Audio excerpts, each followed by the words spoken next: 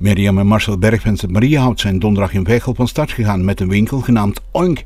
Ze deden in 2019 mee met een wedstrijd die door het centrummanagement in Veghel was uitgeschreven en werden daarin derde. In deze winkel staat alles in het teken van het varken. Producten die gemaakt zijn nadat een varken geslacht is. Vlees is dan herkenbaar, maar verder staat er ook snoep, shampoo, borstels en bezems. Alles van het varken wordt gebruikt. Mirjam Bergvens gaat de winkel aan de Kalverstraat in Veghel bemannen, terwijl Marcel Bergvens thuis op het bedrijf in Mariehout blijft. Bij ons is vandaag de dag, vandaag gaat onze winkel open. Dat is heel spannend, want uh, we moeten natuurlijk altijd maar afwachten hoe dat het uh, landt. Het is ook een beetje jammer dat we eigenlijk weer volop midden in de corona-perikelen zitten, dus dat we toch uh, wel open gaan, maar dat we daar niet meer heel veel tamtam -tam en heel veel feestelijkheid kunnen doen. Hè. We kunnen niet meer heel veel mensen samenkomen. Dus, maar we gaan wel open, want daar hebben we gewoon gepland om vandaag open te gaan. En de winkel mag ook gewoon open. Dus we gaan gewoon open en we hopen dat we vandaag wat, uh, de eerste klanten mogen verwelkomen. Ja. Wat is er voor een winkel geworden eigenlijk, Mirjam? Nou, het is eigenlijk een, het is een winkel waar alles van het varken te verkrijgen is. Hè. Het, uh, je hebt de leuke dingen van het varken, maar van varken wordt meer gemaakt dan alleen vlees. als die uh, geslacht wordt, blijven nog botten, bloed, uh, huid, haren over. En daar worden ook allemaal weer producten van gemaakt. En al die producten in een wisselend assortiment zijn hier te verkrijgen.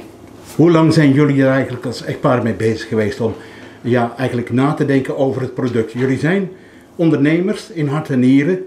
Je bent eigenlijk al op diverse fronten bezig. Wanneer kwam dit naar boven drijven? Toen wij met Pathé bezig waren, toen uh, hadden we paté. En paté was dan de, uh, alles, je hebt de lapjes van vlees en alles erondomheen kon in de paté. Maar dan word je, meestal, werk je andersom. Dus moesten we ons vlees gaan verkopen. Dus toen hadden we eigenlijk al een winkeltje aan huis. Dus, en dan zo wordt er dan steeds ja, dan ga je er anders over nadenken en je, gaat, uh, je, je, merkt dat je mensen het verhaal wil vertellen waar dat er nog meer van een varken gemaakt wordt dan alleen vlees.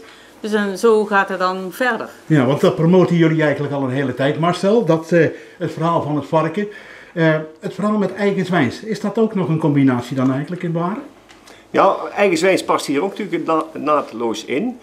want ook eigen zwijns is een manier van ons om toch weer dichter bij die consumenten komen. Wij, wij, wij, ervaren dat er te veel afstand is tussen de, tussen de producent, tussen de varkensboer en, en, en de consument. Dan krijg je een heleboel ruis op de lijn. En dat is echt jammer, want het varken verdient een veel betere waardering dan, uh, dan dat hij in die gepolariseerde discussie krijgt. Ja. En dat willen we ook hier met deze winkel bewerkstelligen.